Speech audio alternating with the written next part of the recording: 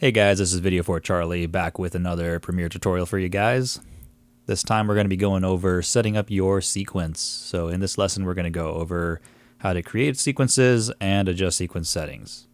So the easiest way to create a sequence, let's just go ahead and start off by actually closing out the existing sequences we have in our project. The easiest way to go about this is by simply dragging over a clip and dropping it into the timeline panel. Premiere will automatically create a sequence that matches that source material. Now, if you have all matching source material, that's great because you can just go ahead and start from here. Everything should line up. There's not going to be any weird frame sizes or whatever. But in the case that you don't have matching material, you're going to want to be able to go ahead and customize the sequence itself. Now you see that when I dragged this clip over and created a new sequence, it actually creates a sequence right here in that same folder. Now for the sake of my own organization, I always like to just drag that up into the sequence bin that I created. And I'll go ahead and just rename that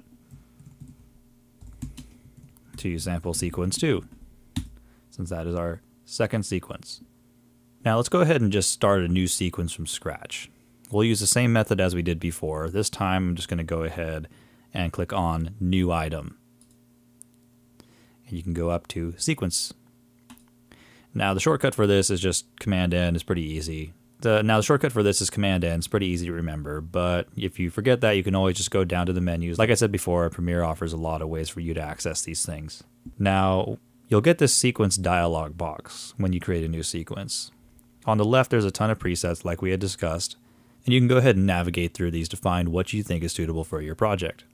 Now, when working with a lot of HD footage, I generally just use 1920 by 1080 or 1280 by 720, so I'm going to go ahead and just keep this DSLR 1080p 24 preset.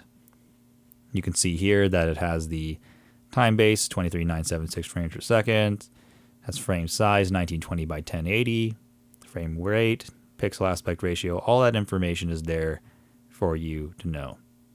Now to adjust the sequence settings, you can just go ahead and click on the settings tab. Now we kind of brushed over this before, let's get into a little more detail with it now.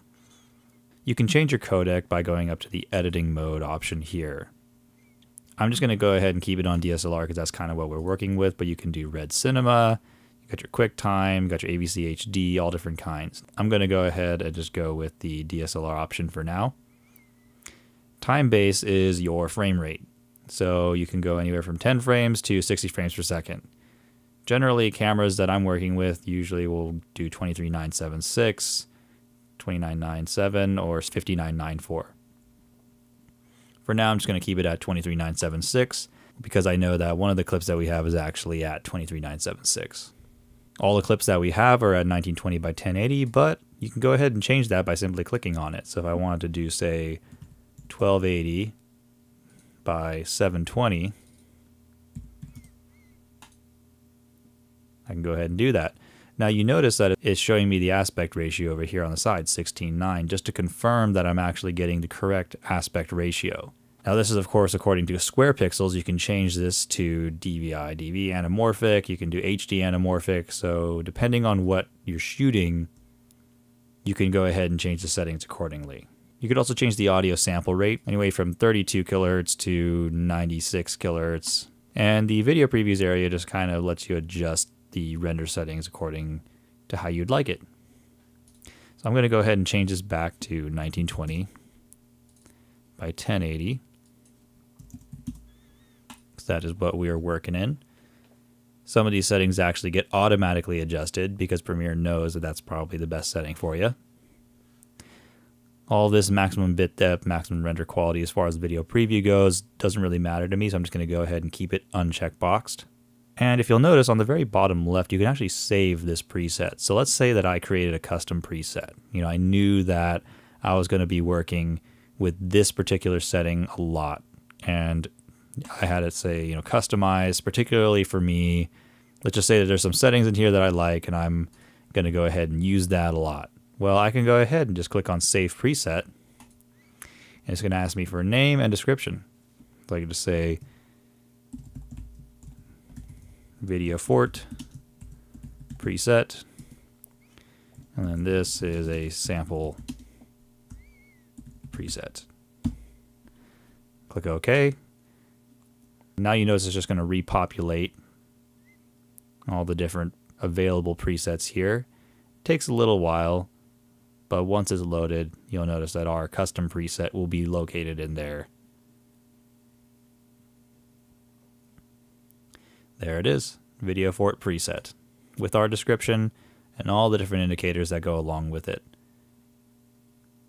So this could be especially handy if you're dealing with a lot of different sequences. Now Premiere generally lends itself to organizing footage within sequences. Say for example, I'm making a selects reel and I'm going to have some multi-track audio coming in most of the time and I want to be able to make selects within that sequence. So I'm going to be making obviously multiple sequences because say there's going to be multiple cameras. I can go ahead and just reuse that preset over and over without having to go in, click on settings, and redo everything over and over. Now finally you can use the tracks tab up here to set the number of tracks and names of tracks you would like to use in your sequence.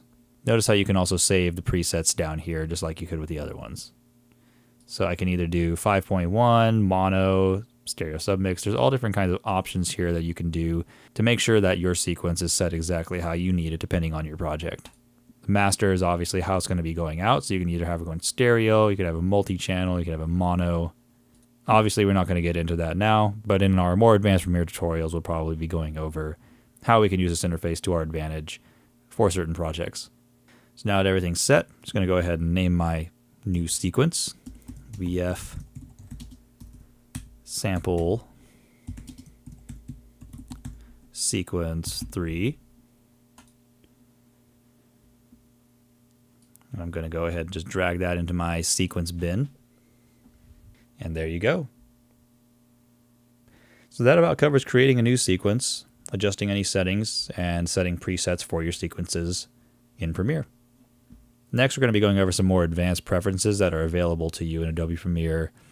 So that way you'll be able to use these preferences in reference to the previous tutorials, as well as modify Premiere's interface to exactly how you'd like it. For now, this is Video Fort Charlie signing off. You guys have a good one.